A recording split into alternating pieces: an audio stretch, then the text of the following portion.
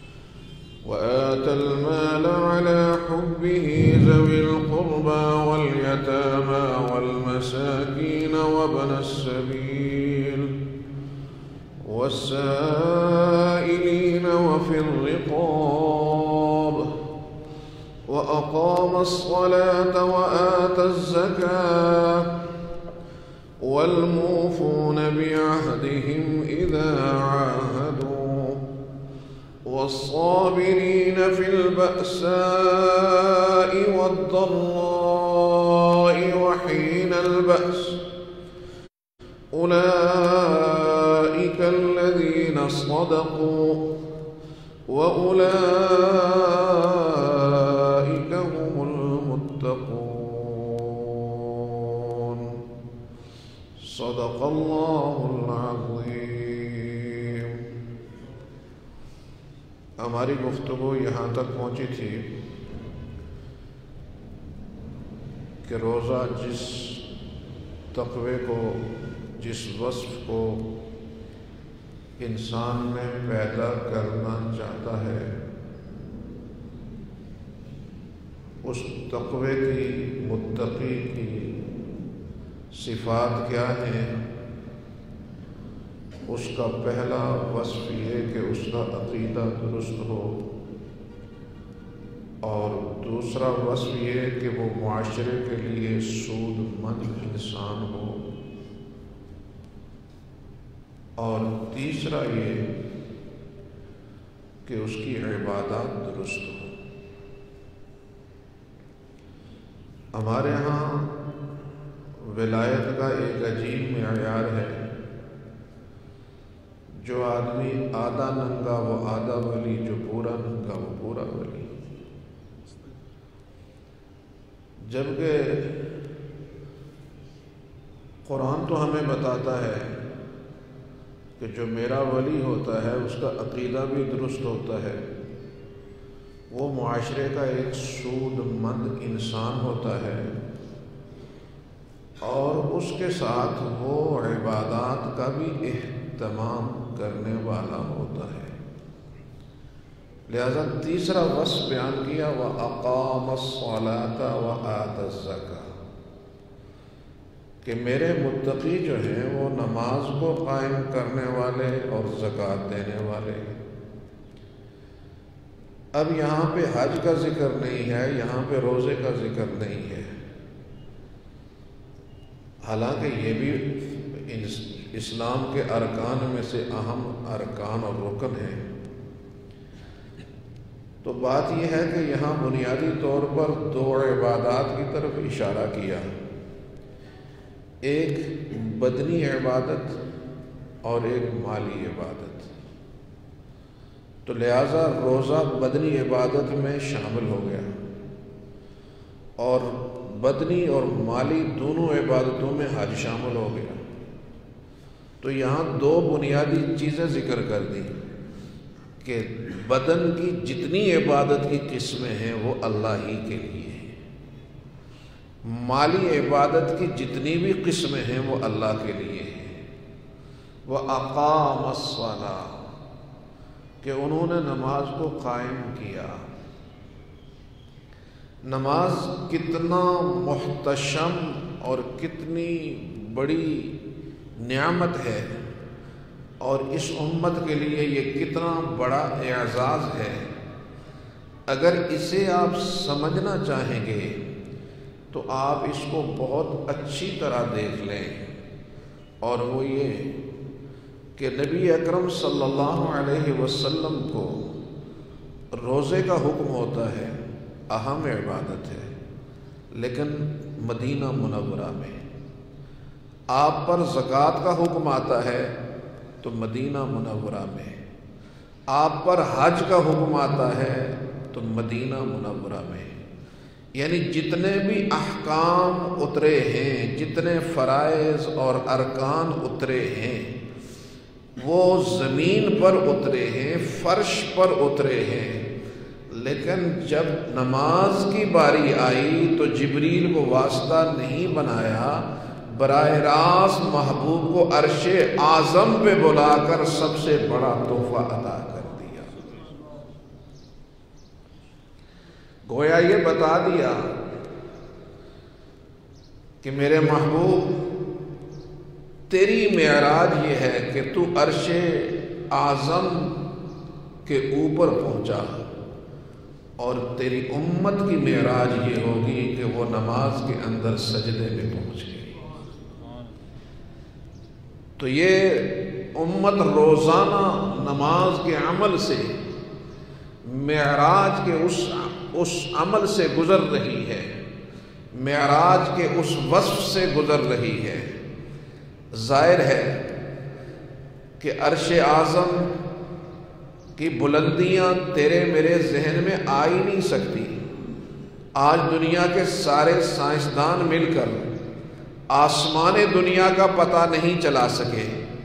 तो दूसरा आसमान, तीसरा आसमान, चौथा, पांचवा, सातवां, फिर उसके बाद अरश आज़म। तो ये इंसानी अकल, इंसानी वहम, इदराक ही नहीं कर सकता। तो मेरा रब बताना चाहता है कि जिस तरह अरश आज़म की बुलंदी तुम्हारे, तुम्हारी फ़िक्र को, तुम्हारी अकल को तुम्हारी अकल उसका अहाता नहीं कर सकती। इसी तरह मेरे महबूब का मकाम कितना बुलंद है, तुम्हारी अकल भी उसका अंदाज़ा नहीं कर सकती।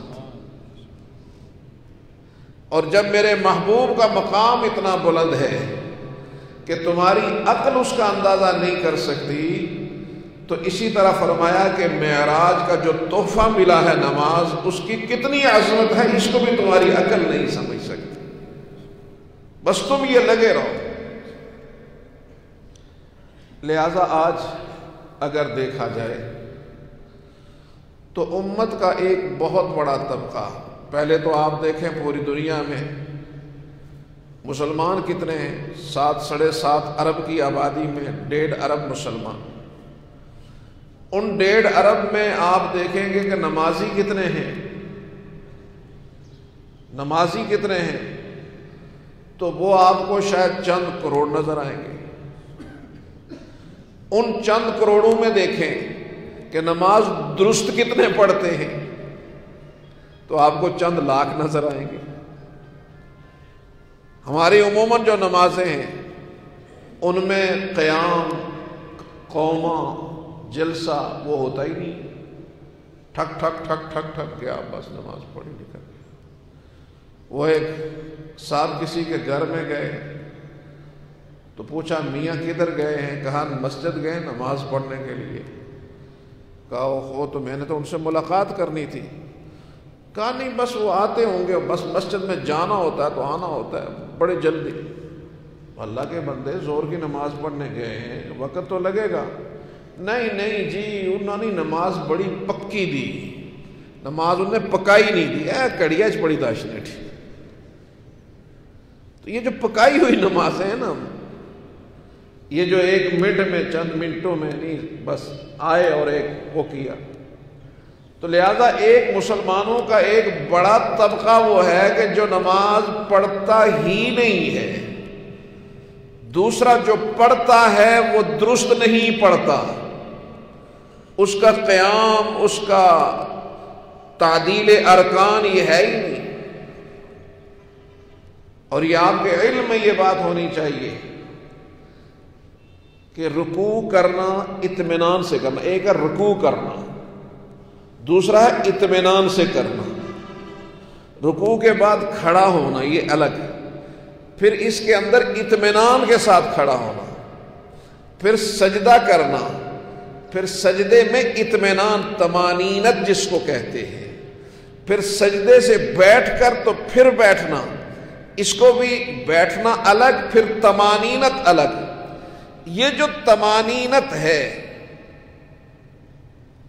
इसको इमाम शाफी रहमल्ला ताला फ़र्ज़ करार देते हैं नमाज़ में। कि जिसकी नमाज़ में तमानीनत नहीं है, उसकी नमाज़ ही नहीं होती। जिस तरह रुकू छूट गया, फ़र्ज़, सजदा छूट गया, नमाज़ नहीं हो, इस तरह तमानीनत छूटने से नमाज़ नहीं होती। इमाम अबू हनीफा रहमत फरमाते हैं कि ये फ़र्ज़ तो नहीं इसको कहेंगे दलाइल की रोशनी में, लेकिन वो कहते हैं वाजिब है। और नमाज़ में एक वाजिब रह जाए तो आपको सजदा साहब करना पड़ते हैं।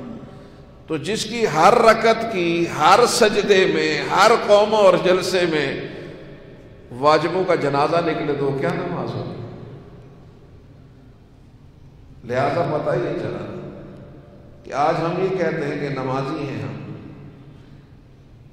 तो अरबों, डेढ़ अरब में करोड़ों नमाजी, करोड़ों में, लाखों, करोड़ों नमाजियों में अक्सरियत वो है जो नमाज़ ही दुरुस्त नहीं है। और फिर जो लाखों हैं, जो नमाज़, कौमा भी है, जलसा भी है, सब कुछ है। लेकिन नमाज़ में हजूर कल्ब नहीं है। खशियत नहीं है। ये एहसास नहीं है कि मैं अल्लाह के सामने झुक। रहा हूँ ये एहसास नहीं है, बल्कि हमारे यहाँ सूरत यह होती है कि बाज़ार में, दुकान में होता है तो बंदा दुकान के अंदर, मस्जिद में आता है तो दुकान बंदे के अंदर। सारा हिसाब किताब मसीदी चलाई ना कितने कपड़े गए, कितना फलां गया, कितना मान फलां फलां उंगलियाँ साफ़ कर रहा है पता ही नहीं। पता ही नहीं है कि क्या है, क्या नहीं। तो मेरे दोस्तों, जब नमाज़ अव्वल एक उम्मत का बड़ा तबका पड़ता ही नहीं, जिसके लिए अल्लाह के महबूब का इरशाद है कि मन तरक सलात मुतमिदन फकत कफर, कि जिसने एक नमाज़ जान बूझ कर छोड़ दी, एक नमाज़, वो काफिर हो जाता है। एक नमाज़ छोड़ने से। अब यह है कि मुर्तद हो जाता है, उस पर इर्तदाद की सजा होनी चाहिए, ये एक अलग बहस है पूरी। लेकिन मेरे काबिल एहतराम दोस्तों, अगर एक नमाज़ जानबूझकर छोड़ने का यह गुना है तो जिसने सारी ज़िंदगी नहीं पढ़ी, उसका क्या आलम होगा? लिहाजा हमें सबसे पहले अपने अपने बच्चों के लिए नमाजों का अहतमाम वो हमारे घरों में भी आ जाए, हमारी औलादों में भी आ जाए तो फिर इन अज़ीज़, घरों के मामला बनना शुरू हो जाते हैं, बरकतें आनी शुरू हो जाती हैं। तो लिहाजा फरमाया वह अकाम असला नमाज़ कितनी मुहिम है, आप इससे अंदाज़ा करें कि सैदना इब्राहिम खलीलुल्लाह ने अपने लखते जिगर को बियाबान सहरा में कोई इंसानी आबादी नहीं है। कुछ भी नहीं है। बेटा और माँ दोनों को छोड़ दिया। और एक चटियल सी जगह है, एक झोंपड़ा सा बनाकर छोड़ दिया। अब हुक्म इलाई के मुंतजिर है, मैंने भी यहाँ रहना है, फरमाया, नहीं, तुम चलो। इम्तिहान भी तो बड़ा अजीब है। घर में बच्चे हैं, बाज़ार आते हो, दस दफ़ा पता करते हो, बच्चे बीमार तो नहीं है, फला तो नहीं है। पैगंबर हो, कोई भी हो, इंसानी एहसास तो उसी तरह है। पैगंबर तो सबसे ज़्यादा हसास होता है। अकलौता बेटा है, बुढ़ापे में मिला हुआ बेटा है। और वहाँ छोड़कर तो जब पहाड़ तक पहुँचे तो देखा कि बिल्कुल एक गठड़ी की सूरत में माँ बेटा नज़र आ रहे तो सोचा, अभी कोई चीख आएगी, कोई दरिंदा आएगा भेड़िया आएगा, चीर फाड़ जाएगा। और पहाड़ के ओट में जब पहुँचे तो दस्ते सवाल, जब्त के बंधन टूट गए, दस्ते सवाल दराज किया।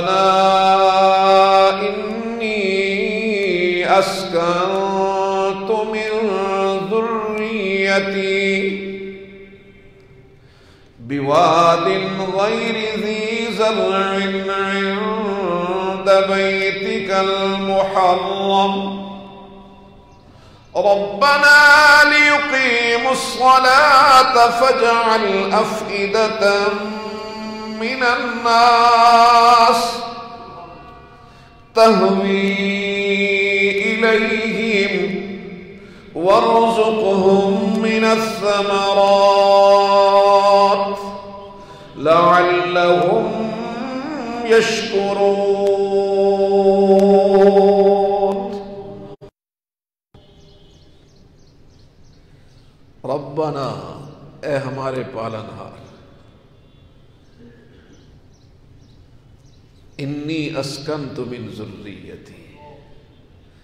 मैं अपनी औलाद को छोड़ के जा रहा हूँ, बसा के जा रहा हूँ। वादी गैर जीजर में जहाँ कोई पैदावार नहीं है। मेरे रब्बा, इसको मैं यहाँ जो छोड़ के जा रहा हूँ, क्यों छोड़ के जा रहा हूँ? इसलिए नहीं छोड़ के जा रहा हूँ। कि ये यहाँ पर आबादकारी करें, इलाका फतह करें, यहाँ पर ज़मीन को आबाद करें, यहाँ पर किसी रियासत का क्याम करें। मेरे अल्लाह, अगर मेरी सारी कुर्बानियाँ आपने कबूल फरमा दी। रब्बना लियुकीमुस्सला ए अल्लाह अगर सारी कुर्बानियाँ तो कबूल करता है तो मेरी इतनी इल्तजा है कि मेरी औलाद को नमाज़ कायम करने वाला बना दे। लियुकीमुस्सला ताकि ये नमाज़ कायम करने वाले बने। तो पैगंबर मेरे रब से क्या माँगता है अपनी औलाद के लिए? और आज हमारे नज़रों में हलाल हराम तरीके से कमाने वाला बेटा तो बड़ा मुआज़ है। लेकिन अगर घर के अंदर नमाजी बरेजगार बेटा है और वो कमज़ोर है कमाने में तो वो इंतहाई हमारी नज़रों में गिरा हुआ है। नबी सलाम के पास एक शख्स आया आकर कहने लगा, अल्लाह के महबूब मैं मेहनत करता हूँ, मजदूरी करता हूँ। दूसरा मेरा भाई है कि बस वो मस्जिद है, नमाज़ है, बस इसी में लगा रहता है। तो नबी अकरम सल्लल्लाहु अलैहि वसल्लम ने फरमाया, क्या तू ये समझता है कि तुझको जो रिस्क मिल रहा है, तेरी मजदूरी की वजह से मिल रहा है? तुझे क्या पता कि उसी के सजदों की वजह से, उसी की तस्वीर की वजह से अल्लाह तुझे भी रिस्क अता कर रहा है? आप इस जाविया नज़र से क्यों नहीं देख रहे होते? कि घरों के कमज़ोर लोग बसाओकात वही रिज का ज़रिया बन रहे होते वही रिज का सबब बन रहे होते और खसूस अरब मुआशरे में बेटियों को तो ऐब समझा जाता था। कमज़ोरी की अलामत समझा जाता था। अल्लाह फरमाते हैं, नाहनु को कुम व नाहनु को हम व ईया कुम भी आता है, एक जगह नाहनु नर्ज को हम व ईया कुम दोनों आता है। कि मतलब क्या हुआ? कि हम तुम्हें जो रोजी देते इन्हीं की वजह से देते हम तुम्हारे कमज़ोर लोगों की वजह से तुम्हें रोजी दे रहे होते लिहाजा रोज़ी का एक निज़ाम है जो मेरे रब ने जोड़ के रखा है।